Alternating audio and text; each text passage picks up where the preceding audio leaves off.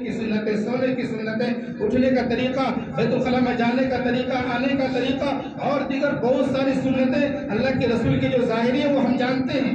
और अल्हम्दुलिल्लाह उम्मत का अक्सर बेशतर तबका इस पर अमल भी करता है।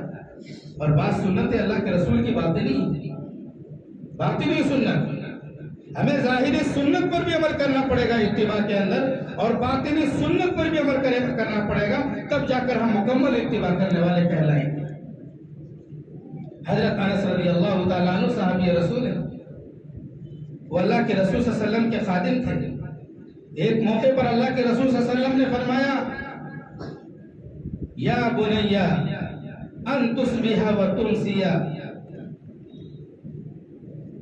ए मेरे बेटे, तुम सुबह ऐसा करो, शाम ऐसा करो।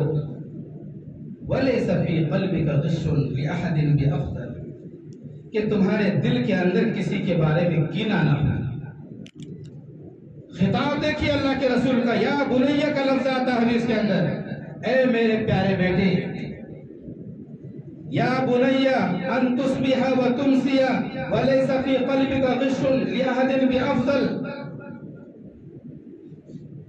वमन अहब्ब सुन्नती फक़द अहब्बनी, वमन अहब्बनी कान मइया फिल जन्नह अल्लाह के रसूल ने फरमाया कि मेरे बेटे तुम सुबह ऐसा करो शाम ऐसा करो कि किसी के बारे में तुम्हारे दिल के अंदर कीना ना हो मुहद्दिसीन ने लिखा है सुबह तुस्बिहा का ज़िक्र है हदीस में।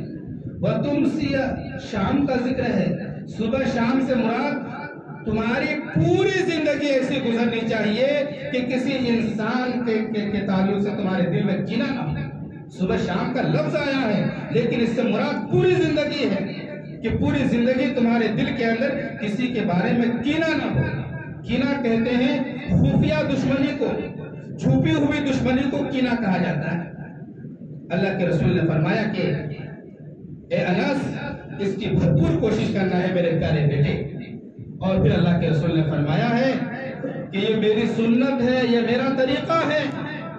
यानी दिल में कीना न रखना, ये मेरा तरीका है। दिल में कीना न रखना, ये मेरी सुन्नत है। फिर आगे अल्लाह के रसूल ने फरमाया वमन अहब सुन्नती और जो मेरी सुन्नत से मोहब्बत करेगा, वो मेरे साथ होगा। काना मैया फिल जन्नत, वो जन्नत में क्या होगा? मेरे साथ होगा जो अपने दिल के अंदर क्या है? कीना न रखता। है तो मेरे भाई और बुज़ुर्गों, अल्लाह के रसूल वसल्लम किसी के ताल्लुक से दिल में कीना नहीं रखते थे। और ये अल्लाह के रसूल की सुन्नत है जो रिवायत से पता चलता है।